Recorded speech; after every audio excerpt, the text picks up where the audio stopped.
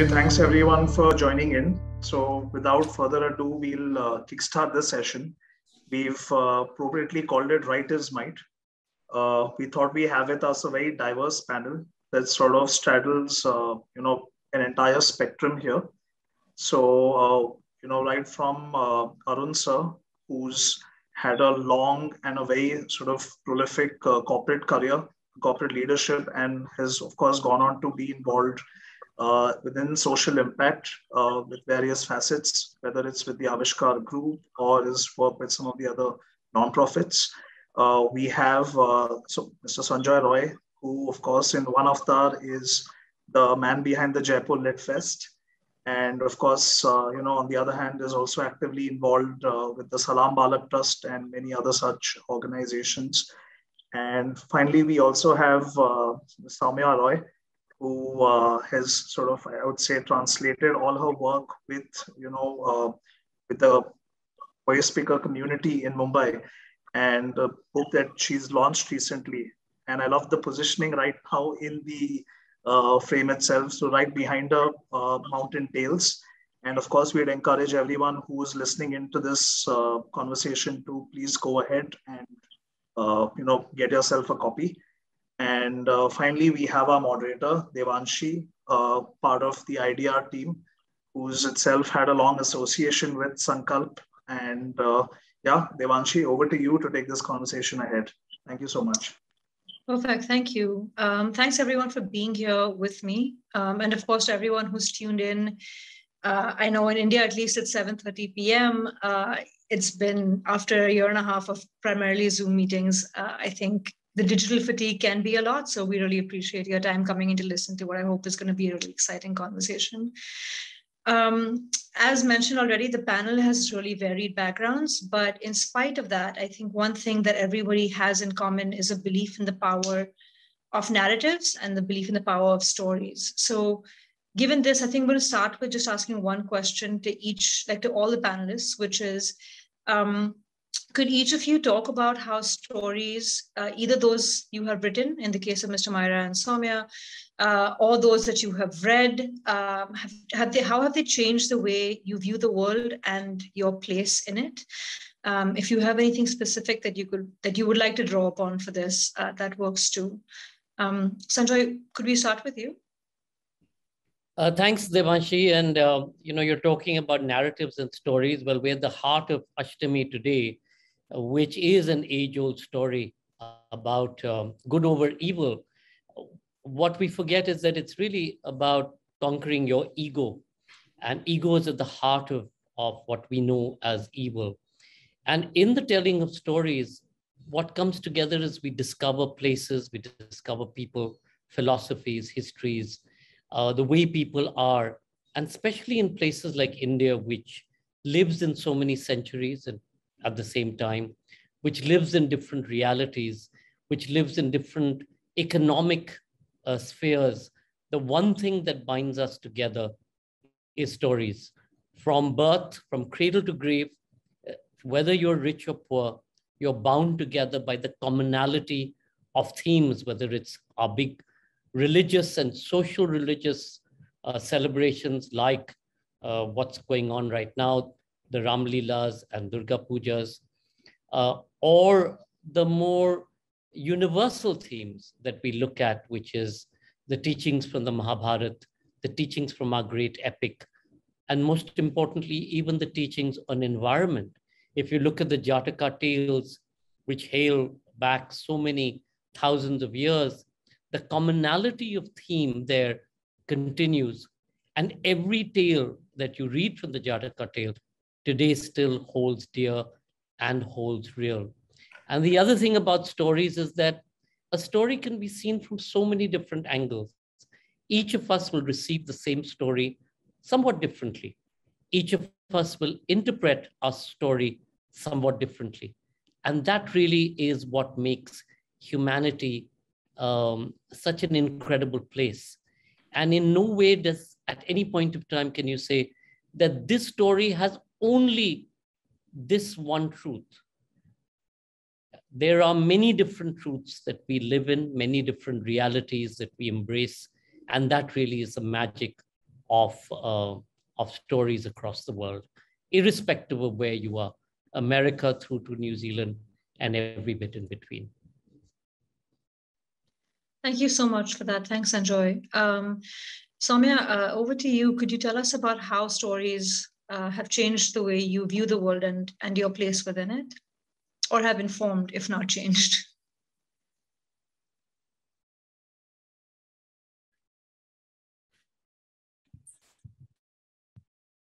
I would say that at first I was a reader for growing up. I've always been a reader. And the thing about reading stories is that they give you this very finely edged imagination.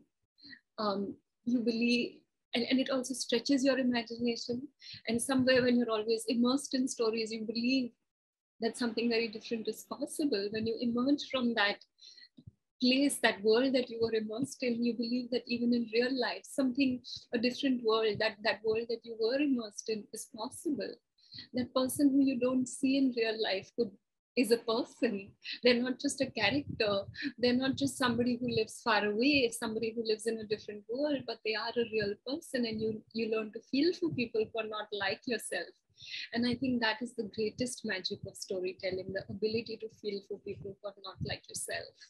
So I would say that for me, that is the magic of like stories most of all. Um, as a writer, I would say that it's something that I struggled with more. And many writers struggle with this because people will tell them, oh, so what changed? Nothing changed. You know, you wrote something, so what happened? And as you know, that I followed um, these waste pickers that I wrote about for about eight years. And I remember when I finished and I went to give them finished copies, I did, you know, like it was as if this particular project was over, but I did go with a sense of um, concern that you know what had really changed materially for these these people in my book so i remember give, giving a copy to this um, girl in my book called Hira and i had uh, followed her since the time she was i think 13 or 14 and now she has two young children and i felt that you know and she's a very fiery character and she, i thought she would say well what has changed for me nothing has changed and you know you have a book out and what has changed for me and what she actually did say was that she held it and she was so happy and she said um, किसी को पता तो चलेगा हम कैसे जिए that just in that act of writing something shifts something changes and she just felt so happy so that that somebody will know how we lived somebody will know how unreal our lives were but that they were real Thanks, Soumya. I think you brought up two like important points, especially today, you know, just the ability to learn from different people's lived experiences that are unlike your own. And also whose voices do we platform, you know, um, who do we give space to? But uh, we'll come back, we'll circle back to that a little bit later in the conversation. Uh, Mr. Maira, same question to you as well. Thank you, um, uh, Devanshi. I've been thinking uh, which stories have influenced me uh, the most in my life. And I said the fairy tales that I was told when I was young, and all of us. I think those fairy tales they had some some ideas in them, some lessons in them, and uh, they have continued to, uh, uh, in some subconscious way, influence my my thinking. And then as I grew up, um, I was uh, um, given my my mother uh, the Bhagavad Gita to read. I was uh, just about able to make sense of difficult English. Um, so I went into that and the story of the Battle of Kurukshetra, the Bhagavad Gita. And in that story, this dialogue between Arjuna and Krishna um, really took me. And in the second chapter of that uh, story is uh, uh, uh this saying that uh, you only have a right to the work and not to the fruit thereof. And I must say, even to this day, I, I struggle to understand what is the work that I must do uh, now that I have been born and, and not wishing even to have the, the fruits of the work, which includes feeling of success and satisfaction that the work was well done. So I struggle with the, uh, understanding myself and why I do what I do. The second uh, book, which shortly thereafter, or alongside it, I was reading was uh, My Mother's Behest Again, uh, Gandhiji's autobiography, The Story of My Experiments with Truth. And that I continue to go back to. It's a story, it's a story. It's a story about a person discovering what the Gita said you must discover that you have a reason to be on the world for the sake of making the world better. And you should not be uh, hankering for well, the fruits of it. And again, I say, what do you mean by the fruits of it?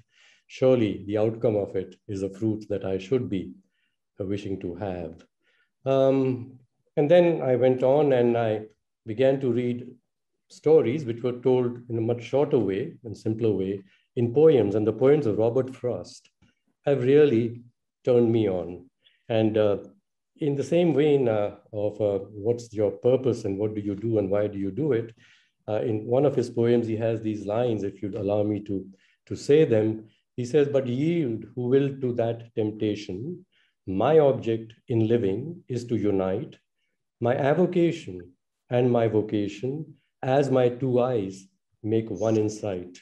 For only where love and need are one, and work is play for mortal stakes, is the deed ever really done for heaven's and the future's sakes. So these are some of the stories and written in different forms um, that have continued to um, engage me. Thank you. Thank you for that. I um, I remember studying that poem in school actually, and it was really nice to hear you uh, to hear you recite it. Um, Ms. Maira, the books that you've written. So you told us a little bit about the stories that have inspired you, that have helped you uh, understand or think deeper about your place in the world. Uh, but for the books that you've written, they varied in thematic areas that they've covered. So how do you? What factors guide you while you're deciding what to write about? And then once you write, how does the process of writing change the way you engage with uh, with what your with your subject? Um, you know, I, am always uh, uh, this is maybe a, a punishment, uh, uh, but always concerned about what is going on around me, and um, at different stages, it's different things that's happening around oneself uh, that one gets engaged with, concerned about, and so whatever is concerning me deeply at a certain stage of my life uh, is what I begin to inquire into, and, and I wonder why it is so.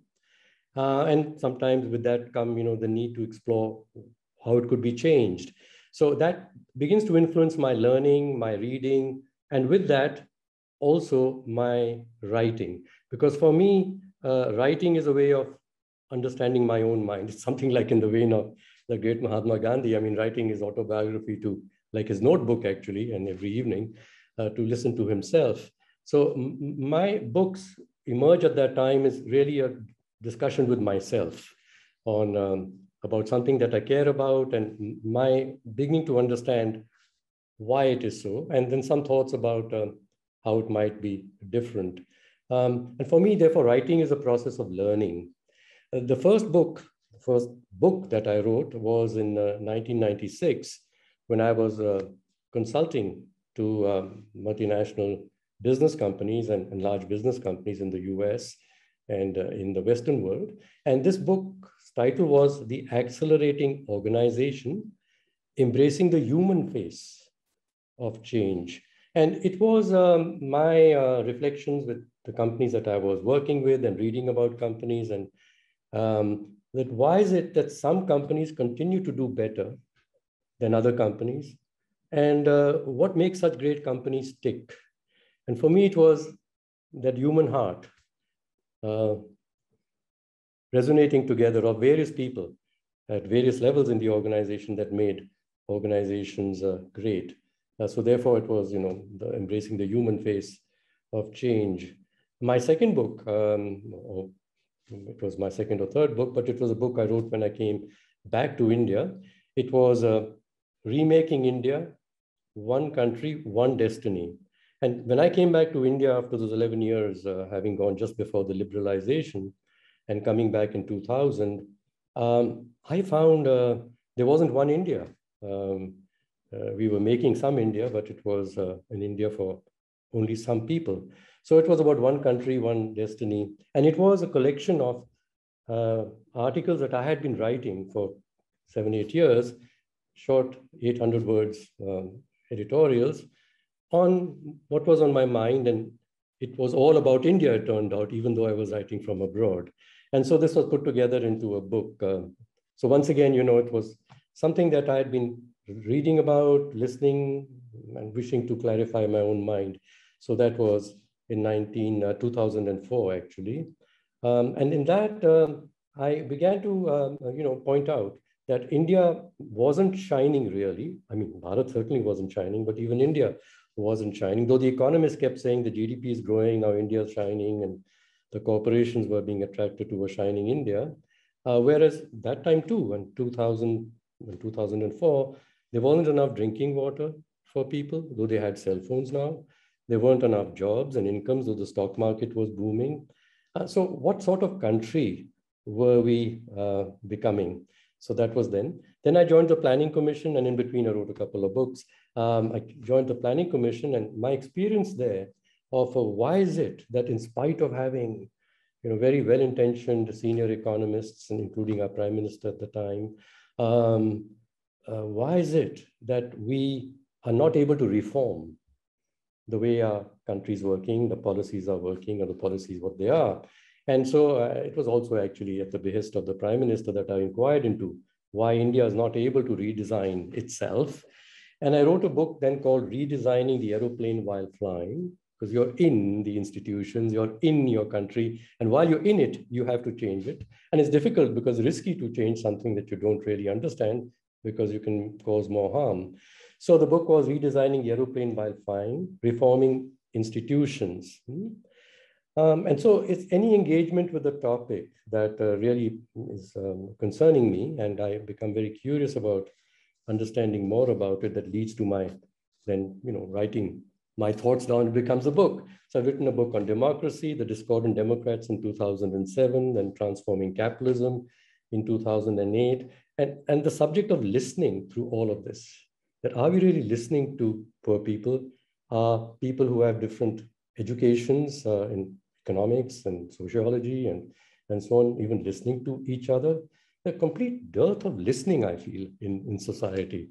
So then I wrote this book uh, about uh, listening, listening for well-being, conversations with people not like us, how it's difficult to have a conversation with someone who you feel is not like you, but why it's become so necessary in the world to learn to have these conversations. And graciously, His Holiness the Dalai Lama wrote uh, the, the introduction to, uh, to my book. So I'm just saying that this is how I begin to write. And during the pandemic, we were here locked in for 18 months, plenty of time to listen actually. So on these Zoom meetings which made possible, people from all over the world, I listened in a week during the lockdown time to more people than ever listened in three months when I was able to fly around to, to go meet people. And then listening to, to different points of view and different conversations and reading a lot. There was a lot of time. And also then to keep writing down what I was learning. So I wrote five books during the pandemic, which have all been published, uh, including one on poetry, by the way.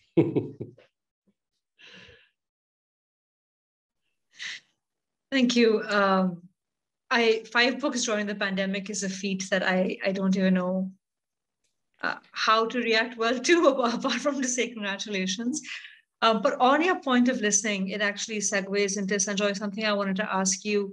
Um, you have worked consistently to increase access to literature and to increase access to the narratives that we're able to come across and find. So, you know, be it through the Jaipur Lit Fest, but it, be it through uh, Salaam Baalak Trust, be it through your policy work with the government. Um, could you tell us a little bit about why you think we need to increase access to stories, whose stories are told, um, and and what impact you think that could have? So, story taking from what Arun said, uh, Devanshi, stories is about knowledge. Finally, it's about inherited knowledge. It's about knowledge that you glean as you're writing a story or telling a story or exploring a story. And knowledge, as we know, is really the fountainhead of any development in any part of the world. I was in a session earlier today about space. And one of the things that was so surprising is that to the 50s, man never looked at traveling to space. But as stories started being written, 2001 Space Odyssey and so much more, there was this thing of let's go to space. Of course, today space has become the sort of celebrity quotient with the Elon Musks of the world uh, wanting to get out there. But how do you then balance it with the fact that the need of the moment is to correct the biosphere that we inhabit rather than necessarily looking at this space outside? Whereas the narrative that's being spun is this is the next big uh, step for mankind, uh, pretty much taking from uh, uh the first person who traveled from space, you know, a, a giant step. I mean, my first step is a giant step for mankind. So narratives can change the very perception that you're based in. And this narrative that we're being sold, which is a sexy space travel, uh, which can be done affordably for people uh, who afford a particular kind of thing, not, not people like us who inhabit the art space. But what we forget in the narrative is like what Soumya has written about, etc. How do you ensure that the narrative deals with the situation at hand? And that's where stories become very important. And I'll again give you an example. Arun Maira in um, in I think it was in the late 80s or early 90s or whenever did put together a group of for CII put together a group of people from very disparate backgrounds, people like me, um, a, a, a, predomination of industry. There was lots of government, many NGO sector people, and our street kids from Salaam Baalak Trust.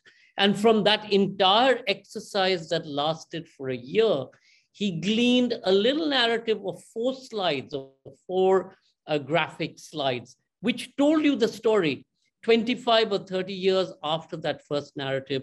Those four slides, or those four graphic uh, telling of a particular story, still holds true. The story has that power to bring about change. And I'll end with a little, a little incident that happened one year in Jaipur, sort of four or five years into the inception of the Jaipur Literature Festival. We put in security because we were getting really full. And it was a weekend, and I received people for an hour every morning. Gates open at 7.30. was standing uh, at the top of the steps. And this man and a boy walked through uh, the gates of Diggi Palace. And because they looked like they didn't belong, they were stopped by the security. And so I went up and I said, Bhaiya, you know, or can I help you? And he said, you know, I sleep on the on the pavement um, opposite SMS Hospital up the street from here. And um, I know that I will never be able to afford to buy my son a book, nor ever to send him to school. But I thought if he heard a story, it would change his life forever. And I heard that you tell stories in this place, and I'm so sorry that I've come. For somebody like that to have walked through the Haveli gates and crossed the threshold of caste and class in an environment like we have in India today is, is a huge thing about change. And uh, the, the, the next uh, storytelling that I'll tell you, this was in Dantewada, where we were doing a storytelling festival, where we worked with the local government to bring about peace between the Naxals of the region, the government forces, and we brought together schools from a 100 kilometer radius. Many of these children had never seen a teacher because of the ongoing violence. They came to Dantewada in buses that we collected them and they were ceasefire. And we, having prepared, had put together stories from the Ramayana and the Mahabharata, etc. And when these stories were being told to these kids, we realized that there isn't really that universal story. They had no idea about the Ramayana or the Mahabharata characters. But what was universal was their stories on the stars and the streams and the trees and the birds and the fish and the fowl and the land of the earth and what the earth provided, the animistic traditions that we all understand and realize. And therein again, the power of a story lies in a belief system that all of us intrinsically can believe and in believing can bring about change. Thank you. Uh, thank you so much for that. Um, you work on the intersections. You, you're an activist, you're also a journalist. How have you seen stories play out in your work? Um, where do you think journalism and activism intersect with each other? Um, where where do those stories differ? Where do they come together? Um, how do you see that happen? I think where they come together is in that they are able, they, they're very gently able to make you see these very dark knots in society, places that we don't want to see. Um, they'll bring light, they bring sensitivity, um, and with a degree of you know, just being but gently but prod you and take you to these places that you have not been before, that you don't want to go. Um, and just by bringing sensitivity and bringing light, it's a step that was not taken before. And, and often that that also leads to something. I don't I don't deny that at all. But I think just um, bringing that light, bringing that sensitivity is something that both um, um, is where they where they meet. And when you are asking me that how do they differ, I would say that where they differ is that sometimes there's a little just as I was hearing Mr. Maira, I was thinking that the space where they differ is that maybe there's a little more space for dialogue in writing, and maybe there can be just a little more space for dialogue even in activism, as you call it. Um, so I, you know, you, you raise such such interesting books that that I obviously like who would not engage with the books that you first spoke about. And I was thinking one of my uh, favorite books on this account is the correspondence between Tagore and Gandhi. And the book is called The Mahatma and the Poet. And so the name Mahatma for Gandhi was given by Tagore, um, the great soul and so the, through the book there's it's the it's it's the, a compilation of their letters that they exchanged over many decades. And um, so it's pervaded with the love that these two greatest figures of indian history had for each other. Tremendous love tremendous affection and yet in those letters they differ on every issue uh, on every issue of fact, they differ. Whether it is Tagore opposes Gandhi for fasting. He does travel and go there and request him, please don't fast. But he does say that I don't think this is an effective form. If you think this is self purification, please don't do it in public, then do it in private. So they disagree on, on their views on women. They disagree on their, um, they disagree. Uh, Tagore disagrees with him on, on his views on caste. He disagrees with his view on science and rationality. And yet, when you come away, when you close the book, you just feel that tremendous love and affection that they have for each other. And so I think that space for dialogue is just so wonderful in writing, in in in, in say letters or um, in, in in journalism in writing. And maybe this is this is a space that we can also incorporate in activism, as you call it. This you may have your view and you stick to it throughout Gandhi and Tagore have stuck to their views over the 20, 30 years of this dialogue. And yet I feel that um, there, there is that space to have that dialogue. And sometimes to have that space outside the page is also so important and so wonderful. And that is where they differ and maybe the space where they can meet. I think Sanjoy is wanting to add something on this dialogue also. Sanjoy, would you like to before I ask a follow-up? I, I, I, added it. I added it to the chat where I said the oh. most importantly took issue with Gandhi on his notion of nationalism. And he said it would come back to haunt us as we are seeing today on his notion yes. of nationalism so many decades later. But go ahead. Yeah, I um, I wanted to build somewhere on what you just said and ask, you know, given given where we are in the country today, um, given everything that we have going on, um, two, if you say we need space for dialogue um, and we need space for people to listen to each other, like Mr. Maira said earlier, what do you think people can do to be more intentional about the kinds of stories they consume? Um, why is consuming different kinds of or being or listening to different kinds of stories important and and what is your what's your view on that sorry questions to me yeah i think it's very um, as you said, you have to be intentional in listening to stories, just reading stories that are different from the ones that you, um, just listening to different stories, diversity in what you read, diversity in what you hear, make that attempt to listen to people, however painful it is. Um, like, you know, it's funny nowadays, I often get asked that, oh, you've written about so much poverty and, you know, foreigners are going to read it. This is, you know, almost not nice. Um, and I feel that more than more than people abroad, it's important for people in India also to see, um, like remember, I feel it's not about waste, but it's also about how um, people live and, and, and and to take us to that place which is actually not very far from where we live say in bombay where, where people i think where people who read the book live and people who are in the book live.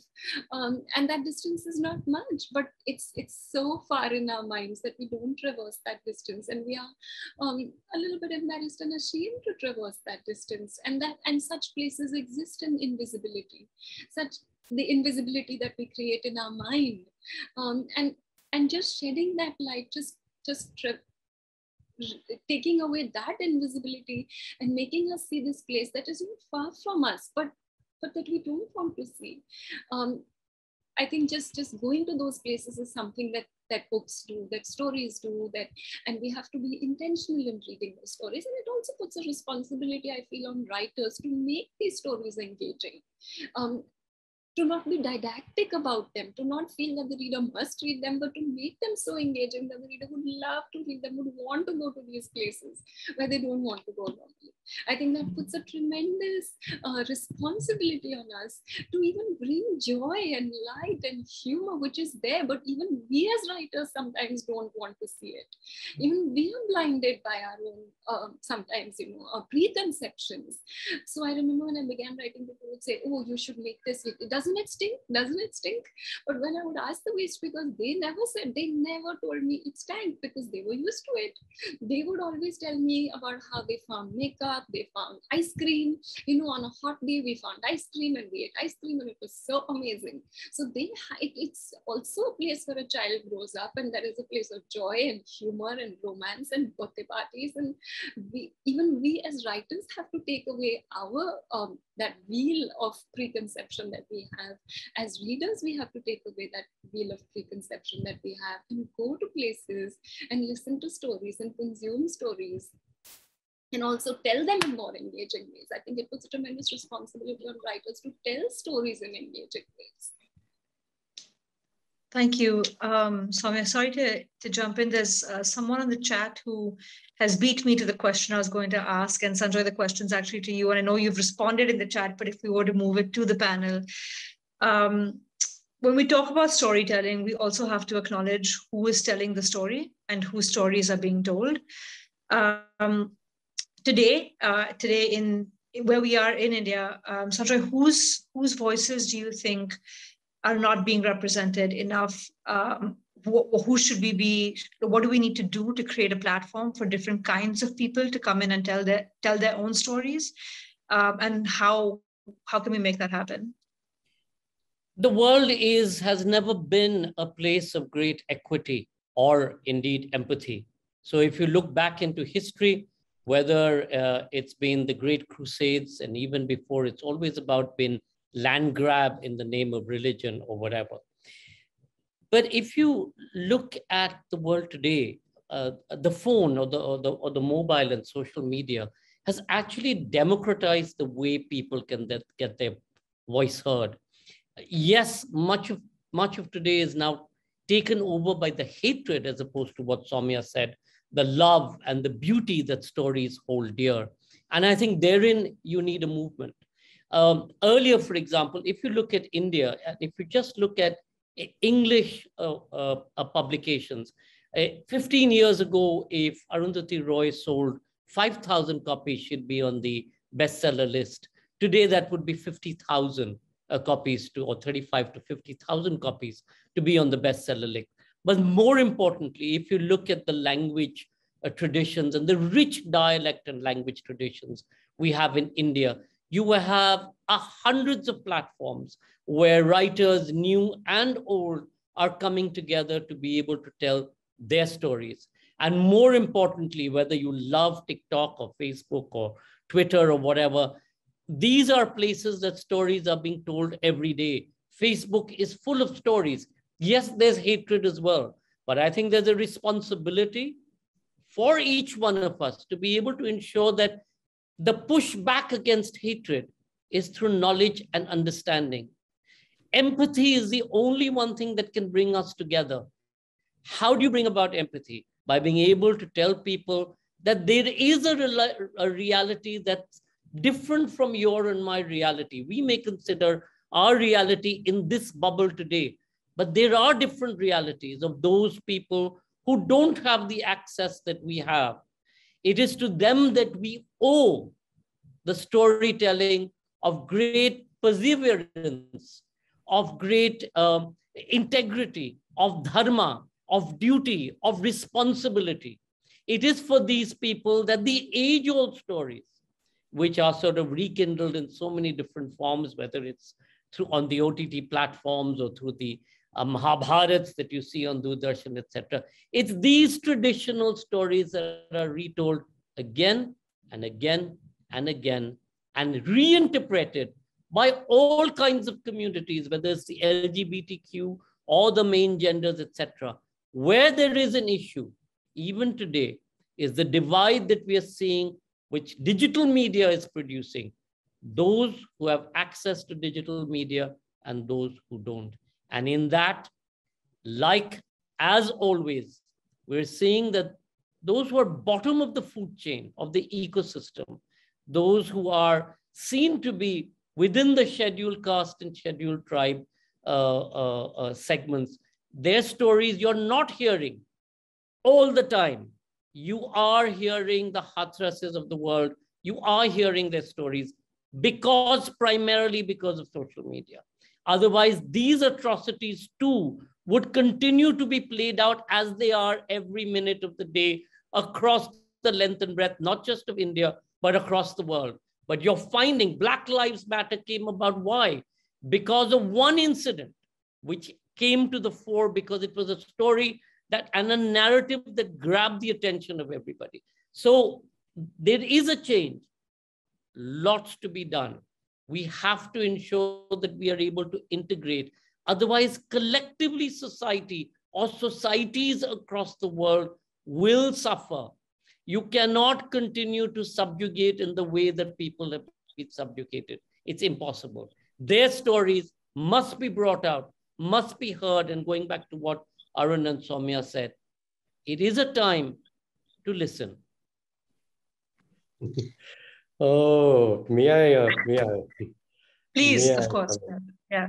Time to listen. And uh, Sanjoy mentioned uh, the need for empathy, and he mentioned also integration.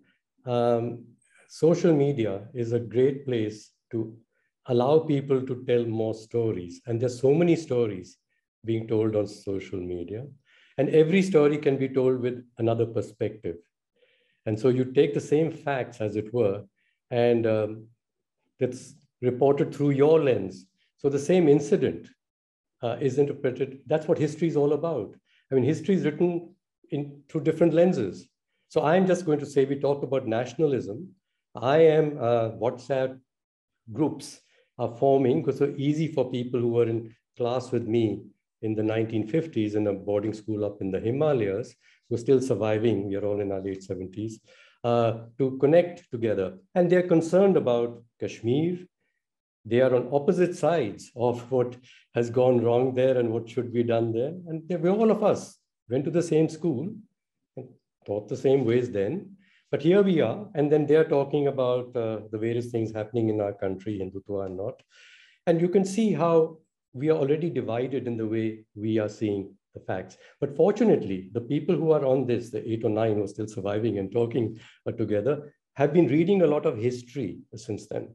And many of them are, um, have been generals, they're Sikhs and generals of our army, lieutenant generals.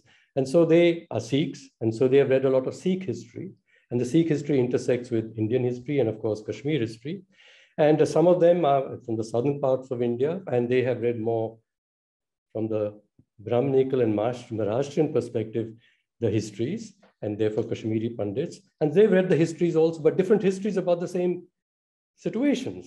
And the disagreements amongst these people today who are reading stories, but reading stories which have been written from different perspectives. And on social media, this is therefore horrible.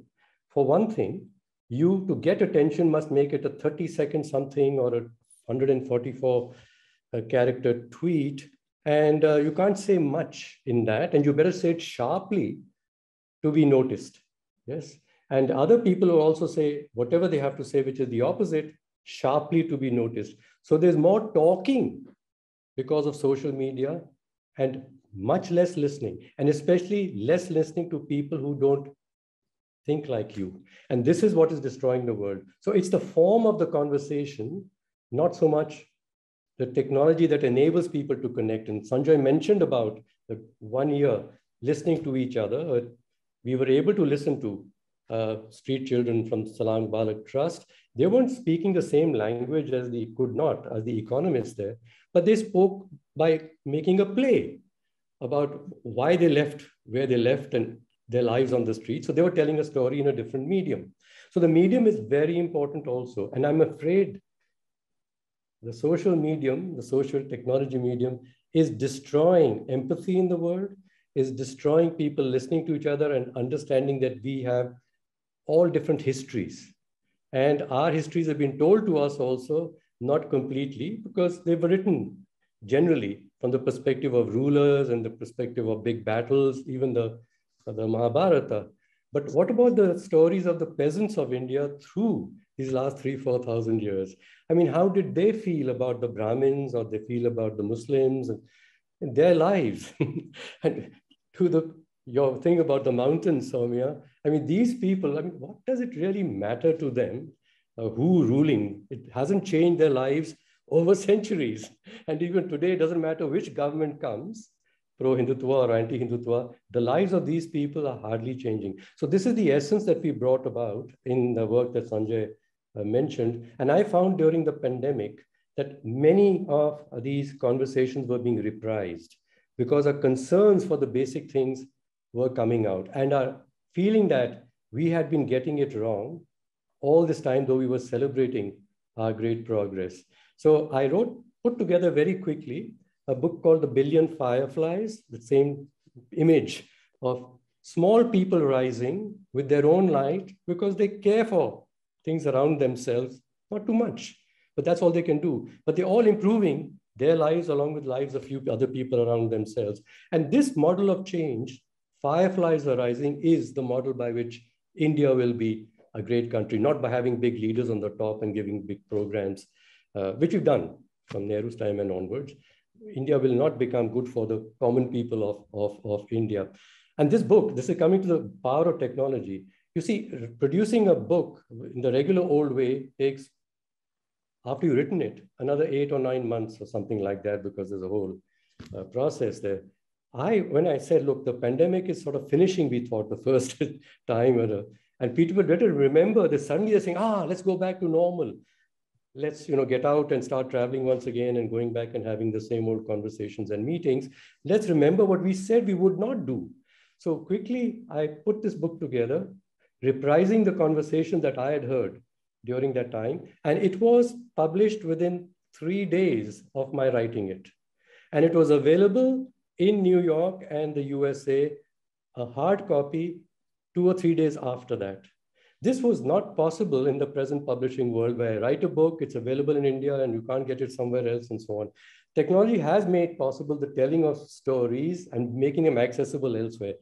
So that's good about technology. But I'm saying otherwise, social media, the format of it is awful. We need to learn to say things in a fewer words, but not in the form of a tweet, but in the form of a haiku poem. It's beautiful. It's 17 syllables, but it gets an idea and makes you listen to yourself and listen to nature around yourself. So that's the art of writing that I wish to discover. Thank you. Um, I must I must address the social media thing uh, because I Sanjoy, I see where you were coming from. So many movements have been possible because of social media. So many people now have access to platforms that they didn't. But Mr. Maira, to your point, uh, I think the point we are at with social media right now is that very often it replicates power structures that we see in the outside world are being replicated online. And therefore, there are limitations to what it can do. And at the end of the day, the algorithm is being made by someone sitting probably in Silicon Valley who has no concept uh, or care to make it an equal like an equalizing platform uh, and it's meant for something else so yes uh, technology does have its limitations and uh, mr maira you did already venture a little bit into what i was going to ask you next which was how do we use stories how do we use narratives uh, for social change uh, and when you were talking about a billion fireflies you talked about people needing to create their change themselves um, with like and like harnessing their own their own power, their own energy, their own light. Um, is there anything you'd like to add to that before we move on to another question? No, I just want to say it is stories. I said the poem is a story. Mm-hmm. The tweet is not a story. The tweet is a comment or it's a criticism. It's not a story. So whatever you write, it should be a narrative because narratives and stories are able to connect complicated things and make it seem that it's natural it should be this way. And this is what we've lost. We're getting too much into economics and science where you got a lot of data about everything and knowledge about nothing, actually. So even write books of economics as stories. And I've learned a lot about uh, what's happening in uh, the global economy through, I'm going to name some of the books, The Travels of a T-shirt in the Global Economy. Yes, it's the story of a T-shirt traveling through the global economy, written by some eminent economists, young economists, women economists in the US, explaining why people are exploited while other people are you know, celebrating the fact that they can get the latest fashions in a few days' time somewhere else, and India wishing to join those global supply chains. And what will happen to our workers? It's, it's inevitable in the structures of, of the economy. The empire of cotton, a much longer story, again told as a story about what you mentioned earlier about power and how power is used to take over lands, take over crops, take over labor, make them slaves, to cultivate cotton on other lands which you've taken in North America. It is about power that is used um, and uh, making everything in the earth, including human beings, as resources for an economy, but told as, as, a, as a terrific story with all the facts and numbers as required to embellish here and there in the story. The story which uh, Mahmood Mamdani tells, uh, Nair's husband, uh, um, well, he's famous in himself, uh, neither settler nor native. It's a terrifically told story. But I'm saying going down to the depth of these stories, they're like histories, but told from another perspective. They're not mm-hmm. histories written in terms of kings and events and battles from the perspective of the, which are usually told from the perspective of Columbus who arrived. Now, of right. course, in the yeah. United States is saying, no, no, let's say it's indigenous days, people's days, not Columbus's days. But that's how we celebrate in terms of the, the people on the top. And so, yes, it must be told as a story because it makes sense. And a story then appeals to certain people. And the perspective from which you tell the story will enable those who others who otherwise have not even heard their own story to feel empowered. You see, so telling stories about poor people in language that poor people themselves can absorb and get pride in their story. Pride in their story helps them to feel proud of who they were, even though other histories have said, you are the scheduled castes and you don't matter. So write, write whatever you write, write it as a good story. Can I just add? Uh, Please do. Yeah. This issue of social media, I feel that what stories do is that they take you from this, they lift you from this space of chatter to a space of feeling, a space of empathy they like there may be a lot of chatter on twitter but what stories do is they take you away from the chatter and take you to a place of feeling a place of empathy. Even a waste picker is a person. A muslim is a person. It's not just somebody clashing with you on twitter. That person is a person a woman is a person. And the ability of stories is to infuse you with emotion in, infuse you with possibility and infuse you with a sense that yes this is a person i can feel for.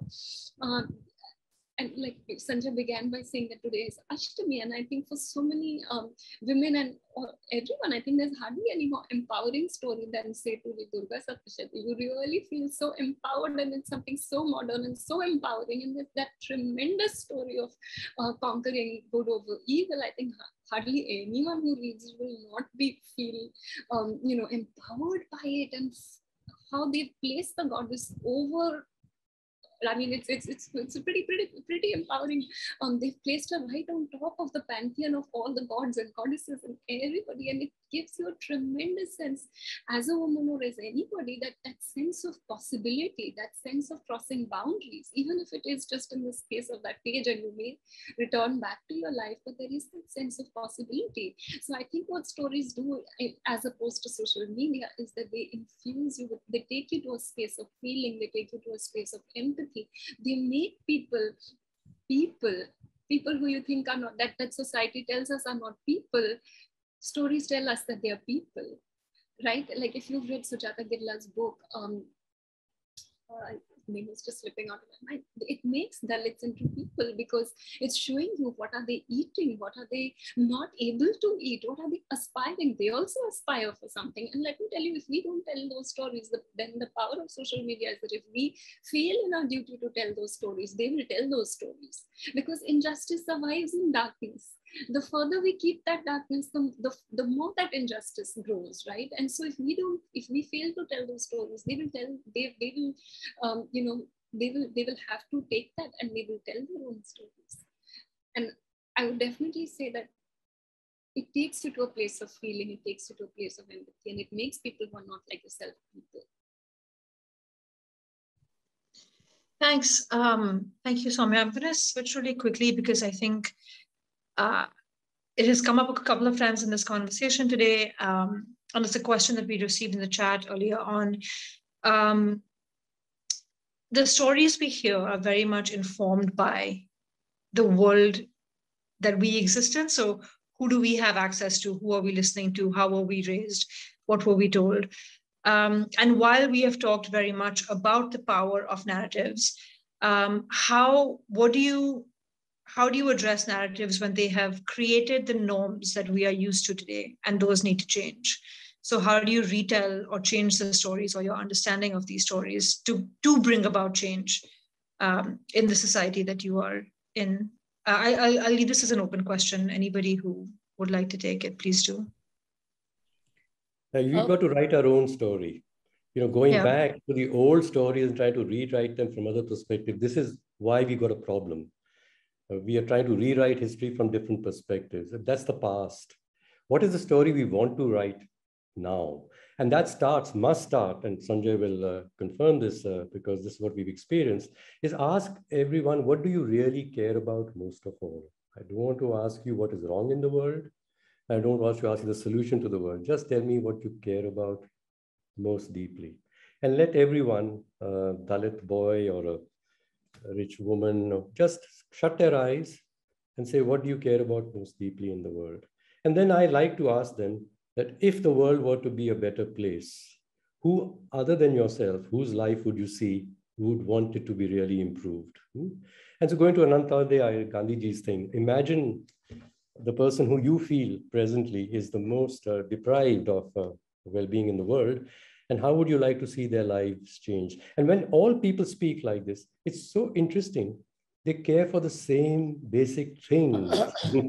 I mean, they express them in, in, the, in the stories of other people, different sort, but same basic things. This enables us to unite. And then we say, okay, if we had to write a story, our story going forward, what would that story be? So this is the scenarios that uh, Sanjay was referring to. Let's write our story now. And in writing the story forward, we will realize the power question that you mentioned, that we would be expecting the brightest amongst us to write this vision and this story. No, we are going to get the people who so far have been listened to, not listened to, they will write the story. So the scenarios in those four pictures, the pictures were produced by a young woman uh, who was actually just listening all this time. And we were then trying to write the policies or the stories that were coming out of all that extensive work, she says, this won't make sense to any of us. So we said, what would you do? So she said, can I offer you four pictures? And the pictures, as he said, the pictures tell a very complex story very beautifully. So let the people write the story in their words. And more and more, therefore, we want to hear as you said, the uh, waste pickers writing their stories. And you, as a great writer, would write it in their voice. And we need to hear that. But empower them, like you said, Soumya, let them write the story actually, because they'll say it with even more understanding and, uh, um, uh, well, with anger maybe, but that's okay. We need to hear that anger. We need to hear that anger. So I would say that please don't ask me, a fellow who's done very well in life, to uh, write stories which will explain the world. Uh, I'm listening and learning, but let's encourage in, in, different ways. On social media also, it need not be uh, everything in a tweet, tweet, but can we, and this is where Sanjay is playing a seminal role in the world today from my mind. He's allowing lots of different types of stories being told. And I know in the Jaipur Literature Festival, he runs into trouble all the time with powers that be, that this story you can't allow to be told. This author cannot come here. But those are the ones we really need to hear. Yeah. Um, Sanjay, you also look like you were about to say something. Um, exactly what Arun said. I was saying when you walk into a bookstore and you choose if you like um, books on food, you'll drift there. If you like poetry, you'll drift to the poetry shelf and bookstores therefore you know lay themselves out like that in the same way that if you switch on your television to watch news and if you are used to watching republic tv if it's still seen to be a news channel or, times now or, or some such then well that's the way you will that's the kind of stories you wish as opposed to say so the responsibility is what arun is talking about the responsibility of publishers, of curators, of programmers, of, of bookstores is to inform an audience. And one of the things we've noticed at the Jaipur Literature Festival, where we try to uh, provide a platform for all kinds, not necessarily uh, the politics that I would subscribe to, or Namita or William would subscribe to personally, but all kinds. And in there, what is surprising is when people come in there and they stumble upon a writer. And in that stumbling upon a writer, their mind is, is opened, or the doors to their mind to another world is opened up. Who would have known Michael Sandel was Michael Sandel till they stumbled upon Michael Sandel at the Jaipur Literature Festival and he blew you away. Similarly, a Rupi Kaur, for example, for you know people like us who tend to be skeptical about uh, uh, you know, about young poets because how do you how how do you become a young poet? I mean, you know, the the process of writing. When you listen to a Rupi Kaur, you can see the evolution from young to uh, to mature, and it addresses a particular kind of story. So we have to provide uh, the space, the opportunity, and the possibility of a million stories or a billion stories that Arun was talking about. And those collectively, as they, as they rise into the night sky, they illuminate us with knowledge and information. But again, it's a choice. Finally, you can take that donkey to the water, but can you get the donkey to drink? You can provide many books, but will you get them to read and understand and listen, etc.?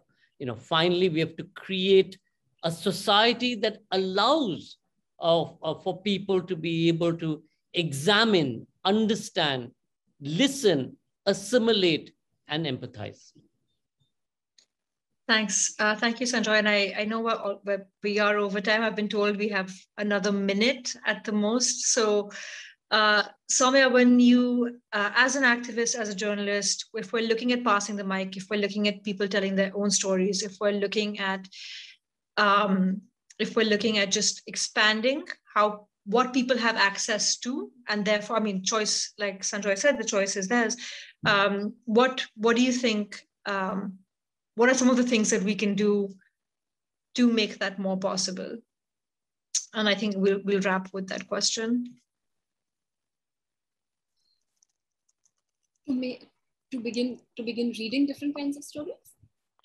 To to create more access to different kinds of stories and or to create or to create to begin reading different kinds of stories. I'll let you pick which which version of this you'd like to answer. I do feel that there are a lot of sto- there are a lot of stories out there. And i think as readers it's who who we pick and who we read. I think we need to be more intentional and really push our uh, limits in terms of who we read. As, as Sanjoy said, you always go in and you look at the same sections that you've looked at, look at the same stories. And also social media serves the purpose of creating an echo chamber and you live in that echo chamber. Or television news, for example, creates an echo chamber and you live in your own echo chamber. In fact, I think it was Svetlana Alexievich who said that facts don't change anybody's mind. It's it's stories that change people's minds.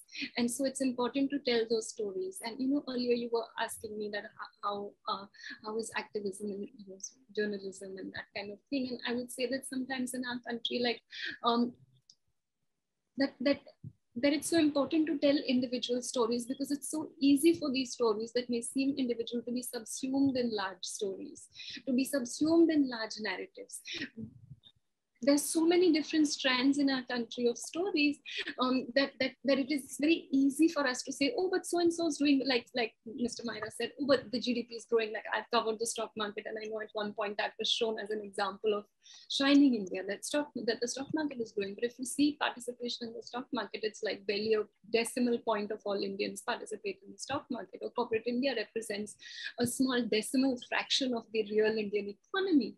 And so what we think is the major narrative and what we think is a small narrative are not are sort of often flawed perceptions. And therefore it's important for us to look at those individual stories that we think or maybe just individual stories, but sometimes they run that danger of being subsumed in a larger narrative that, that maybe big media is telling us is, a, is, is, the, is the dominant narrative or the real narrative, but it may not necessarily be the real, um, a representative narrative of what is going on in the, in the economy, in our country, in our society.